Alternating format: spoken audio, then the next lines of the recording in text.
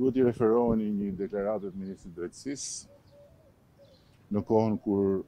dukej sigurisht retorikë, por në fakt, ajo është deklarata. Amnistia është në, në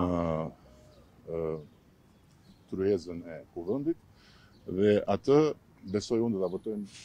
të gjithë sepse nuk kanë ku shkojnë pa e votuar, e kupton, sepse nuk është puna se do votojnë për Partinë Socialiste, po do votojnë për një akt që historikisht parlamenti e ka bërë pa ndarje partiake, sepse është një akt që, siç bëjnë gjitha vendet e civilizuara,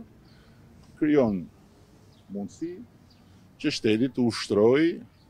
edhe detyrimin kushtetues të lehtësimit të barrës së dënimit për gjithë ata njerëz që meritojnë që të shfrytëzojnë këtë detyrim. Edhe një pyetje, ka bërë një studim shteti se sa do fitojnë nga kjo marrëveshje sepse ka shumë njerëz që ju akuzojnë që nuk është investim, por është një lobi. Unë jam mësuar me akuzat e njerëzve, jam mësuar edhe me... Mund t'u thoni shqiptarëve se sa do fitojnë ata? Po ka mundësi mos më ndërpresësh kur më bën pyetjen? Ëh, ka mundësi mos më ndërpresësh kur bën, siç nuk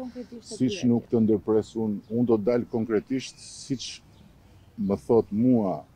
logjika, se po dola unë konkretisht siç thotë logjika e atyre që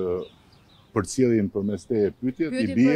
i bie që i bie që nga i bie që nga një kështu që ju lutem thoni shqiptarëve sa do fitojnë nga ky projekt sepse janë pronat e qytetarëve shqiptarë Për të cilat ju po negocioni? I bie që nga një palë pa logjikë të bëhemi dy palë pa logjikë, kështu që juve e bëtë pyetjen tuaj, tani më lejoni të jap unë përgjigjen time, sepse është gjithmonë e njëjta histori me ju, e cila ka të bëjë me edukatën në fund të ditës